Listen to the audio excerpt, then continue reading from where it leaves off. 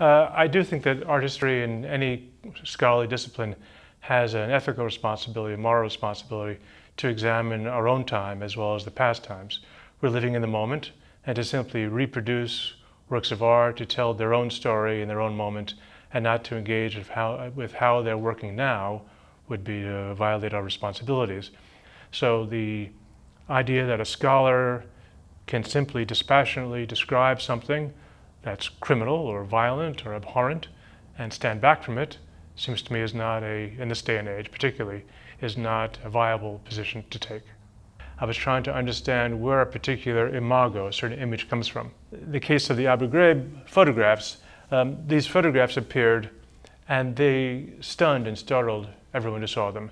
Startled because of the shocking nature of them, the cruelty of them, and particularly the aberrant quality, that is that the tortures consisted uh, in large part, or in part anyway, of having figures stripped naked, having them wear leashes, uh, women's underwear placed over their faces, uh, piles of naked figures. Where could this come from? How, why would it be that American soldiers, one understands what torture is, and later on the United States would engage in plenty of torture, particularly waterboarding and other things, that other tortures that had been conventionally used. But where the idea of dressing up these figures in this peculiar way and stripping them naked in this, in this way? So I started to notice the resemblances between those photographs and works of art from the past, including Francisco Goya, um, the coroza the, that uh, Goya's figures sometimes wear, was like that worn by a famous figure who's made to stand out a box uh, in one of the Abu Ghraib photographs or the nakedness. And it struck me that the images of Abu Ghraib were eroticized, as if somehow the figures in those pictures were participating in an erotic game, taking pleasure in their own chastisement. And then I realized that the representation of prisoners as being somehow complicit in their own torture, their own punishment, is a long-standing trope and image that goes back to the early origins of Greco-Roman antiquity, if not before.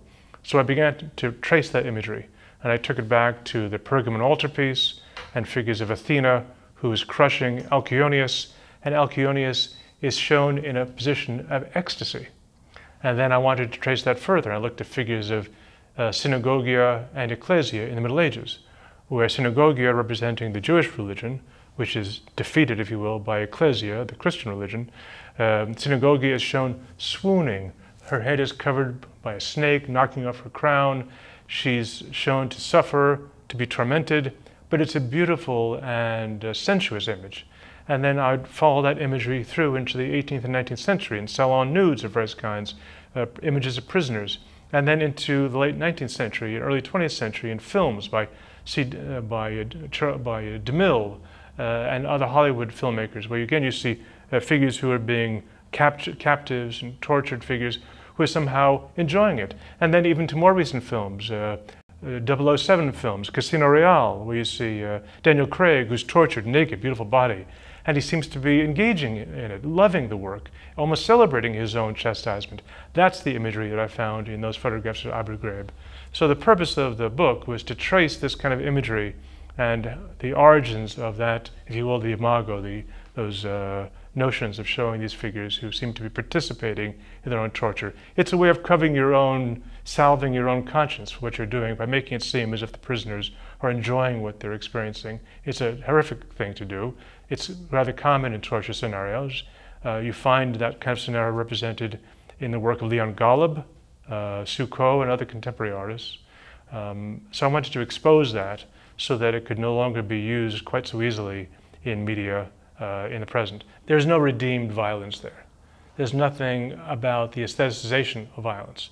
Uh, it's a picture in which he purposely represses color. Uh, Picasso, who's a brilliant colorist, represses color because he's dealing with a subject that has to be told straight as what it was. Uh, the violence, the destruction of a body, of the bonds between uh, a mother and child, uh, the life of animals is given as much validity as the life of people, horses, uh, bulls destroyed by uh, bombs, Nazi uh, bombs working for Francisco Franco, the fascist. Uh, all of that is revealed in that picture.